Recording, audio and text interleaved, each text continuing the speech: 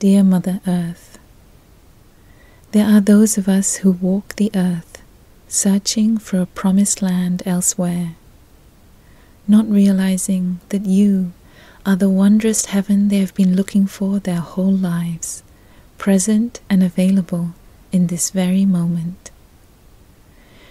You are already a wonderful and beautiful kingdom of heaven, the most beautiful planet in the solar system, the most beautiful place in the heavens. You are the pure land where countless Buddhas and Bodhisattvas of the past manifested realized enlightenment, and taught the Dharma. I do not need to imagine a pure land of the Buddha to the west, or a kingdom of God above, where I will go when I die. Heaven is here on earth. The kingdom of God is here and now. I don't need to die to be in the kingdom of God. In fact, I need to be very much alive. I can touch the kingdom of God with every step. When I touch the present moment in the historical dimension deeply, I touch the kingdom. I touch the pure land. I touch the ultimate. And I touch eternity.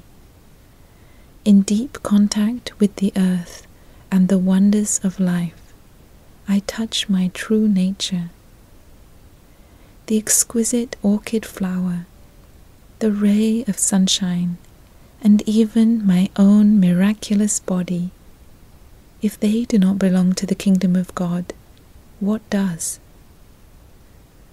Contemplating the earth deeply, whether a floating cloud or a falling leaf, I can see the no birth, no death nature of reality. With you, dear Mother, we are carried into eternity.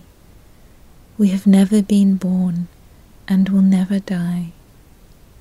Once we have realized this, we can then appreciate and enjoy life fully, no longer afraid of aging or death, not caught in complexes about ourselves, nor yearning for things to be different than they are.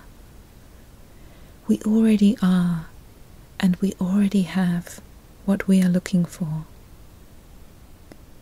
The kingdom of heaven exists not outside of us, but within our very own hearts.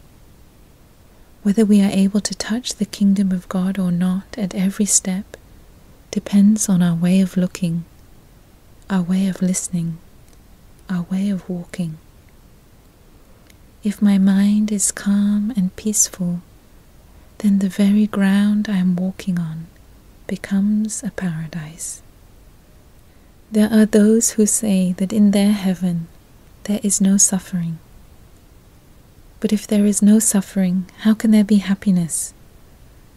We need compost to grow flowers and mud to grow lotuses.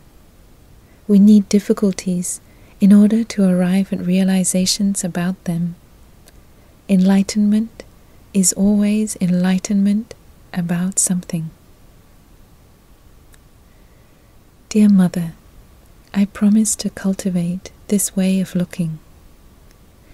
I promise to enjoy the practice of dwelling peacefully with mindfulness in the here and the now, so I can touch the pure land, the kingdom of God, day and night. I promise that with every step I will touch eternity. With every step I will touch heaven here on earth.